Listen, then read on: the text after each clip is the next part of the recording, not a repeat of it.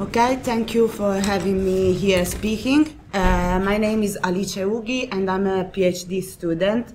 My supervisor is uh, Michelle Alexander. Um, my uh, project is inserted in a, a broader project, multidisciplinary project, and the aim of my research is to better describe social, economic, and demographic changes happen through changes in regimes in Sicily between the 13th and the 16th century AD.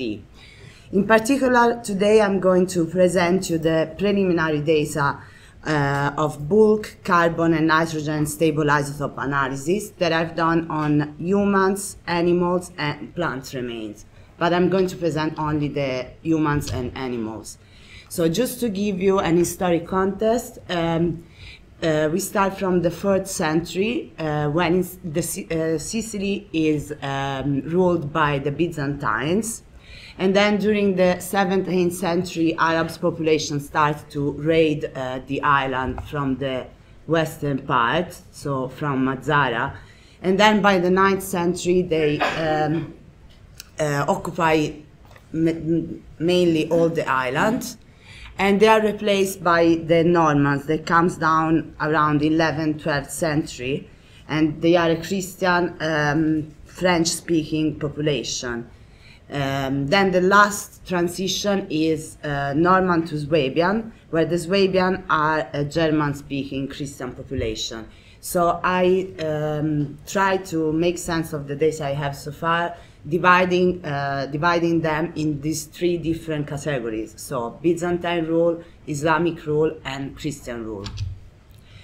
Uh, as some of the speakers have uh, said uh, today, um, one of the important uh, things to take into account to, to, say something about agriculture is that um, Sicily during Roman and Byzantine times had extensive areas of latifundia, and the Arab con conquest um, intro introduced new crops and a new irrigation system, and that brought the agriculture to be more productive, the population to grow, and the society changed accordingly. Uh, so Watson um, uh, explained this uh, theory about agricul Arab agricultural revolution, uh, claiming that the Arabs introduced new crops to the places they colonized, and many of these crops are C4 plants, uh, the consumption of which can be detected by stable isotopes analysis. So um, stable isotopes analysis can help clarifying at least the diffusion of these crops uh, in Sicily, analyzing human and animal remains, and as well linking with the archaeobotanic evidences. The broad research questions of my PhD are if, in general, the stable isotopes data can indicate a change in regimes from Byzantine to Swabian, the form of this uh, shift, so how the different food sources um, played a role in the diet of the different populations. Uh, if we can clarify the, this agriculture revo uh, revolution, so in terms of agriculture and husbandry practices, and also if this can fit in the description of a Sicilian society uh, with uh, particular features in terms of society, agriculture, and culture. So a brief reminder of what is stable isotopes analysis. Um, so they are, it's basically an ecological tool that allows um, us to have a chemical signatures of the food sources. So here we have different food sources, of like meats, different cereals, and fish and these have a particular delta 15 and delta 13C signature that then when um, uh, during metabolic and uh, other biological processes they are incorporated into the human body uh, they go through what we call fractionation which is an enrichment in the delta 15 um, N values and delta 13C values and this allowed us to use the collagen as an indication of the proteic part of the diets of, of the diet of this individual. While the carbonate, so the mineral part, gives us more um, uh, overall indication of diet. Um, so uh, stable isotopes have become in general uh, very um, used in the field of archaeology and because they allow to, us to draw consideration on the society structure and as well clarifying uh, uh, relationship between people and uh, say something about agriculture and uh, how the animals were kept. Um, so um, during uh, the first phase of my PhD, I obtained collagen and uh, uh, value for the delta 13C and delta 15N of humans and animals in order to assess the uh, diet of individuals from different sites uh, and uh, pre presenting different religious background at different periods of the occupation of Sicily by the Arabs. So uh, in this slide, I'm showing the results from a previous study from Alexander in 2014. And I think it's, it's important because it shows um, a similar context. In fact, in this study, uh, they study Christian and Muslim population in late medieval Spain uh, between the 13th and the 16th centuries. And this study was able to show statistical differences in the value of values of the delta 13C and delta 15N. And, and so they were able to um, sort of characterize and divide Christian and Muslim population. And um, overall, the Muslim individuals uh, show enriched uh, values both for carbon and for nitrogen. And this was attributed to um, the consumption of C4 crops or uh, animals fed by C4 crops.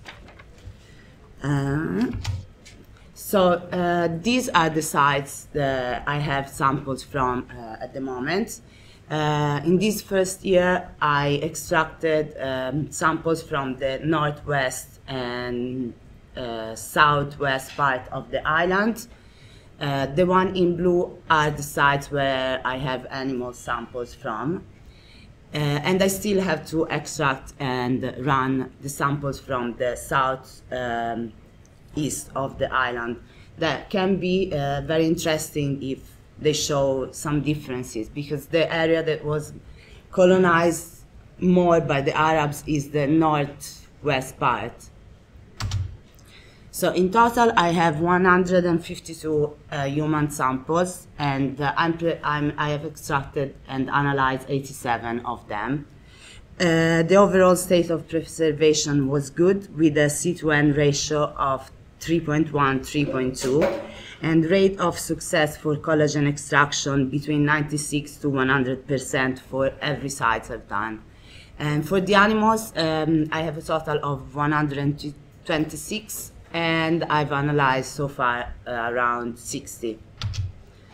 So these are how the data looks like. The um, cro crocs are the animals and the circles are the humans. Uh, before going into detail into the groups, I just wanted to uh, outline that I need potentially to have more um, mm, food sources to analyze, in particular uh, fish, and of course to work more uh, on the archaeobotanic part as well, because every um, of these circles, so C3, C4, fish and freshwater fish may have an impact in the isotopic signature of the humans. These are the animals data. Uh, so I'm presenting here three different sites. Uh, we have Palermo, um, Mazara del Vallo, that you just, just saw with uh, uh Girolamo, and uh, Agrigento. Uh, so here you can see that there are differences uh, both in delta 15N and in delta 13C. So we may uh, imply that there were differences in husband in in the animals management at different location. In particular, the values for the pigs have a wide, wide range in delta 15N. So we go from very low delta 15N taking uh, Palermo, uh, like around four to around nine um, of these animals. So this may uh, indicate a difference in animal management. So these pigs may be uh, wild or uh, free-range pigs, and this one may be more farmed, uh, sort of omnivorous pigs. Um, the animals from Agrigento uh, overall have, uh, compared to the other two, are a little bit more enriched in delta 15 and so it, it's possible so it's a theory that maybe they were coastal grazing but any suggestion is welcome and then looking in particular at the values for the chickens in Mazara um, we uh, we can see potentially a differences difference in um, practice, in husbandry practice between phase one, which is uh, 10th, 11th AD under Islamic rule, to phase two, uh, 13th AD under Christian rule. Um, I received these results when I was back after a break, so I didn't have time to really think about them. Sorry. Uh, this is uh, one of the most interesting thing that I can see, and is the Byzantine rule uh, diet in different locations. So in blue, you see um, individuals from Agrigento, which is in the southwest of the island, and in yellow, Palermo and Trapani. So um, the, po the population in Agrigento, some of the individuals are, um, have show enriched delta 13C values. Um, and this may be due to different things, to different reasons. One can be uh, the consumption of C4 crops, as we saw uh, for the other population. The problem is, is this is under Byzantine rule, so and these are Christian um, individuals, or it can be done more likely, possibly, to uh, seafood uh, uh, consumption. So this is a comparison uh, between individuals that were found in different burial rites, and you can see that there is no big differences between them, so they are all grouped together. Uh, this is Palermo through time, so at different time uh, it's different. It's difficult to um, resolve uh, different groups. And this is a comparison between Contrada Sant'Agata, which is a Byzantine Christian site um, in the countryside, and um, in general, the delta 15 values for the females individuals are higher than the one for uh, males. And compared to Palermo uh, under Islamic rule, and for Islamic burial rites the uh, trend is completely the opposite. So we need to increase the mm, number of samples that we have in order to make more um, safe uh, discussions. So in summary, uh, so far I couldn't see direct evidences of C4 crops uh, during or after Arab conquest, but uh, I want to carry out more um, analysis on that. I, I have already done uh, carbonates on the Agrigento population, and I'm planning to do compound specific of the amino acid for the animals uh, and the humans at Agrigento. Uh, we can see an enrichment in delta 13C in the individuals from Agrigento under Byzantine rule, and we want to understand if this is due to a C4 component or a seafood component. Uh, we can see different uh, strategies in animal management at different locations and possibly a shift from the 10th to the 13th century in the um, management of the chicken we can uh, see that there are differences in management of pigs. So some are wild, free range, and others are omnivorous, so uh, very likely farmed. And the animal values for Agrigento are different from the other sites, so they are enriched in Delta 15N, and so we may emphasize uh, coastal grazing for these animals. Thank you.